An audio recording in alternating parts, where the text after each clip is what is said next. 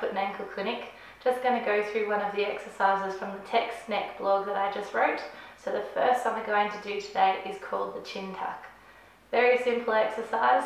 Just all you have to do is leaning forward, tucking your chin into your chest, holding, and then you're going to relax, coming all the way up and looking up to the sky. So the important one with this movement is to be nice and slow. I can do this five to six times.